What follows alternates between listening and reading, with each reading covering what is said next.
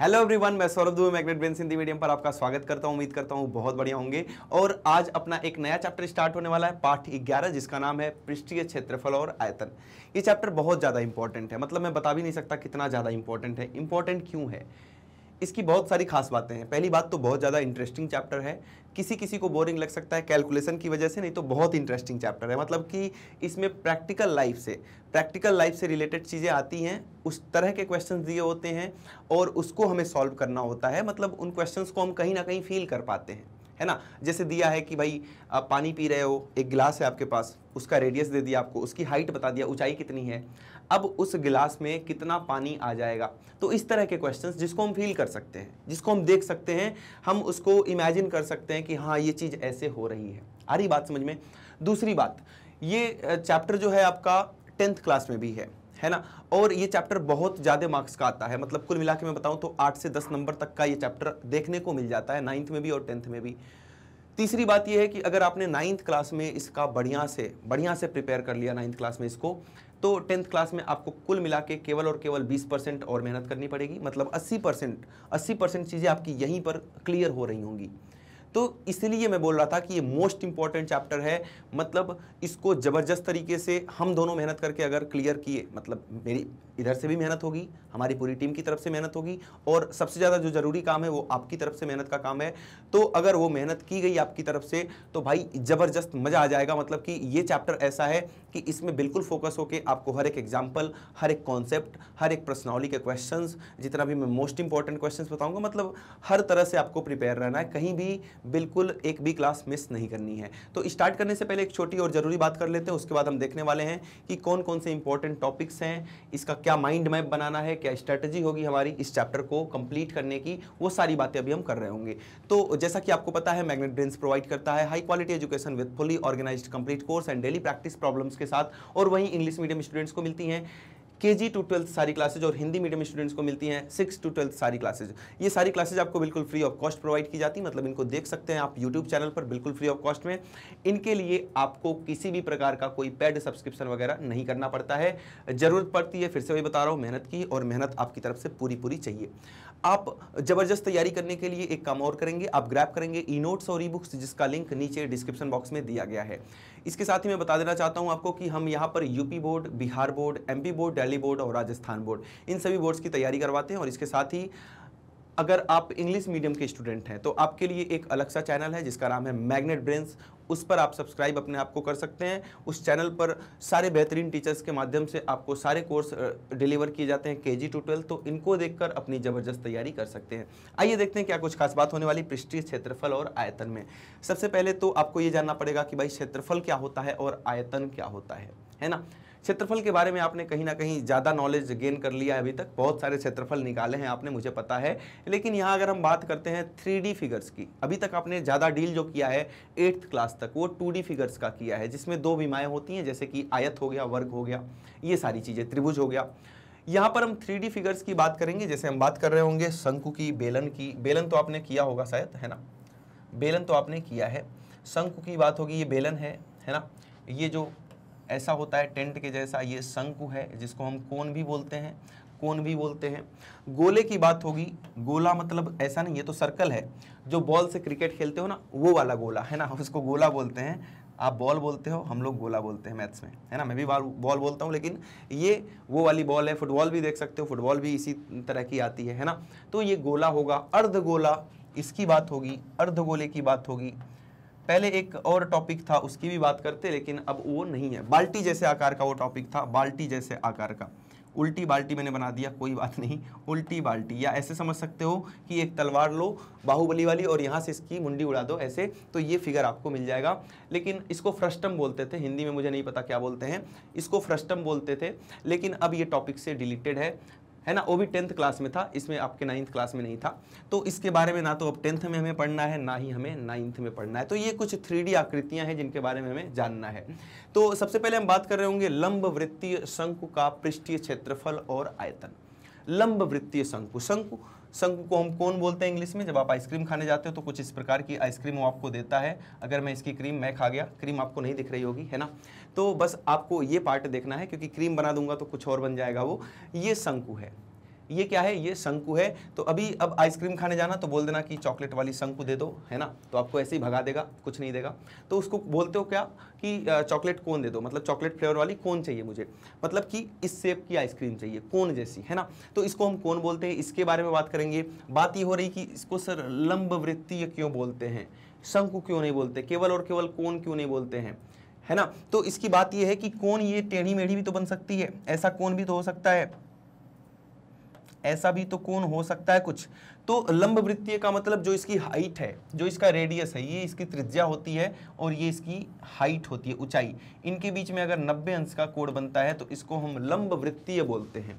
वो बेलन भी हो सकता है, वो शंकु भी हो सकता है।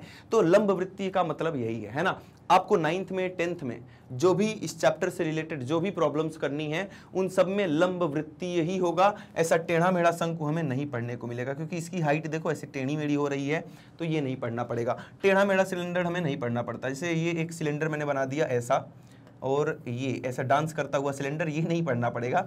ये लंब वृत्तीय नहीं है। लंब वृत्तीय ये वाला है, क्योंकि इसकी जो हाइट है, इसकी जो ऊंचाई है और इसका जो रेडियस है, इनके बीच में नब्बे अंश का कोण बनता है। इसी को हम लंब वृत्तीय बोलते हैं। आ रही बात समझ में? तो इससे ज़्यादा टेंशन नहीं लेना है, चाहे लंब वृत्तीय लिखा हो, चाहे ना लिखा हो, उसका मतलब ही है कि लंब वृत्तीय क्योंकि लंब वृत्तीय के अलावा ये सब चीज़ें नहीं पढ़ाई जाती हैं।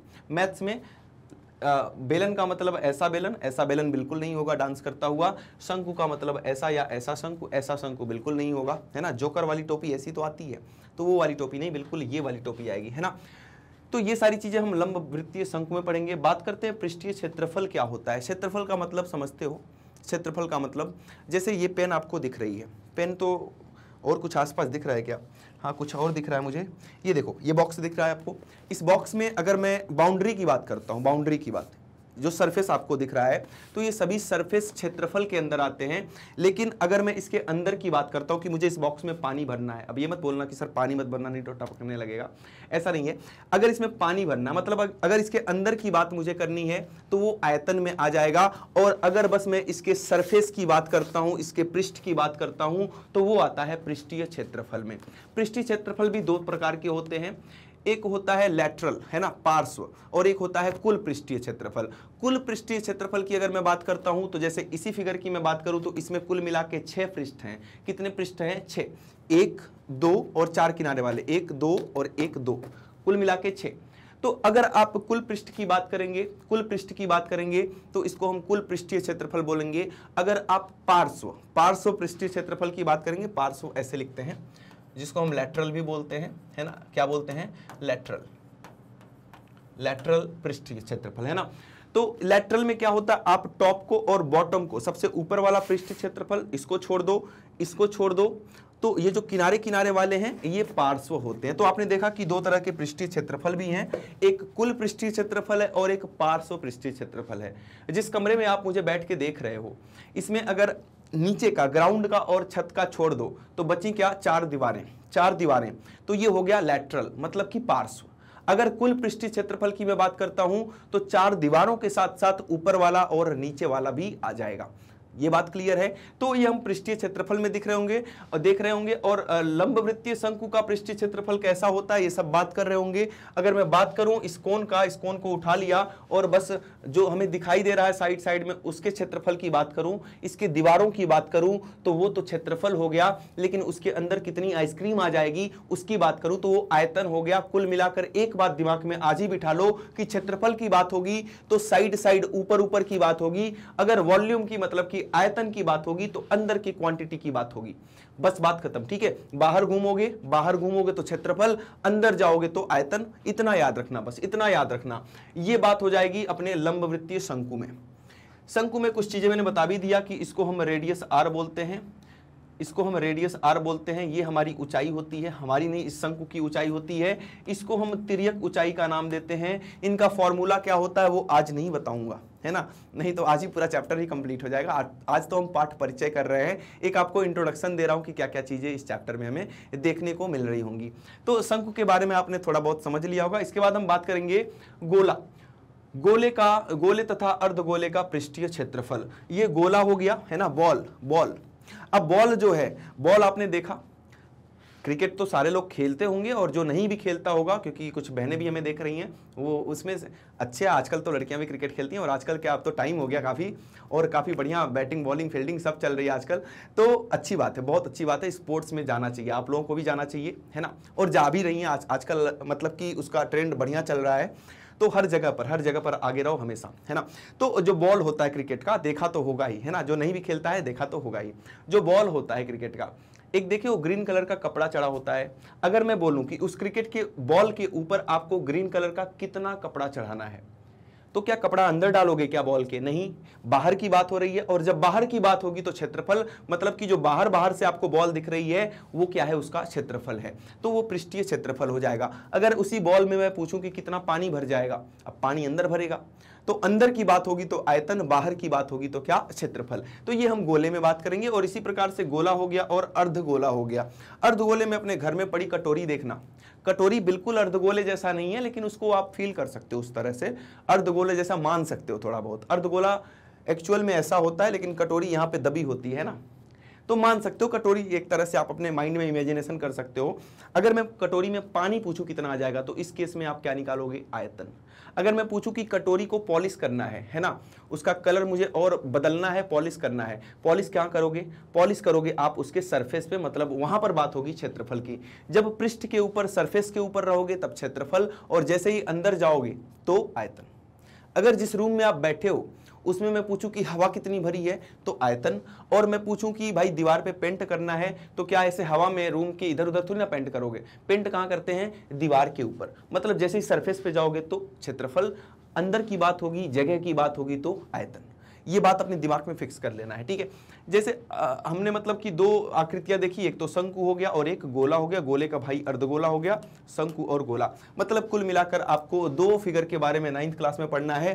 कौन कौन सा? एक तो शंकु जो आप लोगों का फेवरेट है आइसक्रीम तो खाते ही खाते रहते हो है ना? बताना कौन से फ्लेवर का आइसक्रीम पसंद है आपको कमेंट बॉक्स में है ना? मैं भी बहुत खाता हूँ। और दूसरा क्या है अपना? ये गोला और अर्धगोला ये तीन आकृतियाँ एक दो तीन। इन तीन आकृतियों के बारे में मतलब कि इनके पृष्ठीय क्षेत्रफल के बारे में, इनके आयतन के बारे में हमें जानना है इस चैप्टर के बारे में। इसके साथ ही ये सब कुछ करने के बाद आप कॉन्सेप्ट समझ जाएँगे एनसीईआरटी के उदाहरण करेंगे। एक, दो, तीन तीन प्रश्नावली है। प्रश्नावली ग्यारह दशमलव एक, ग्यारह दशमलव दो और ग्यारह दशमलव तीन। एनसीईआरटी से ये सारी की सारी प्रश्नावली आपको मैं करा रहा हूँ इसके साथ ही प्रश्नावली ग्यारह दशमलव चार भी है मतलब चार प्रश्नावलियाँ हैं टोटल दो प्रश्नावली में हम पढ़ रहे होंगे।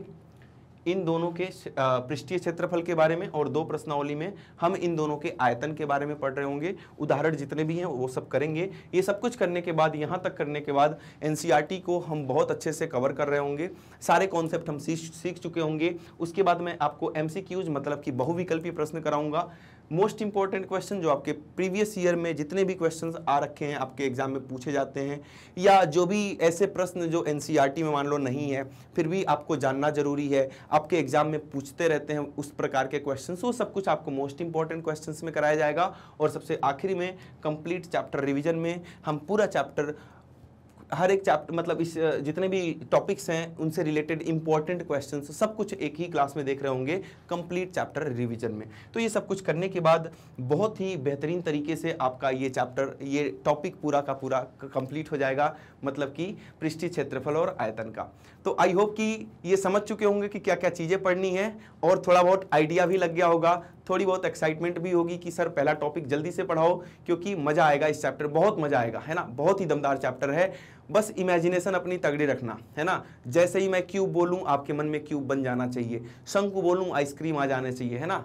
लेने मत पहुँच जाना। तो ये सारी चीज़ें हम करेंगे बड़े मज़ेदार तरीके से अगली क्लास में। तब तक के लिए एक छोटी और ज़रूरी बात और आपको बता देता हूँ, वीडियो को लाइक करना और शेयर करना बिल्कुल नहीं भूलना है और चैनल पर नया तो सब्सक्राइब कर लेना है। जैसा कि आपको पता है, मैग्नेट ब्रेन्स प्रोवाइड करता है high quality education with fully organise complete course and daily practice problems के साथ। और ये हमारे टॉप कोर्सेज हैं, जो इंग्लिश और हिंदी दोनों ही माध्यम में उपलब्ध हैं। यहाँ पर हम सीबीएसई बोर्ड के साथ साथ Delhi board Bihar board UP MP और राजस्थान बोर्ड ये सभी बोर्ड्स की क्लासेस कवर करते हैं। और इसके अलावा वैदिक मैथ्स क्रैश कोर्स और स्पोकन इंग्लिश की भी क्लासेज अवेलेबल हैं। आप हमें सोशल मीडिया नेटवर्क पर भी फॉलो करना बिल्कुल नहीं भूलेंगे, जैसे कि फेसबुक इंस्टा ट्विटर टेलीग्राम और व्हाट्सएप पे और ई नोट्स और ई बुक्स भी ग्रैप कर सकते हैं, जिसका लिंक नीचे डिस्क्रिप्शन बॉक्स में दिया गया है। तो ठीक है, आज के लिए इतना ही था, अपना ध्यान रखेंगे, वैसे की प्रैक्टिस चलती रहनी चाहिए। मिलते हैं अगली क्लास में। Thank you so much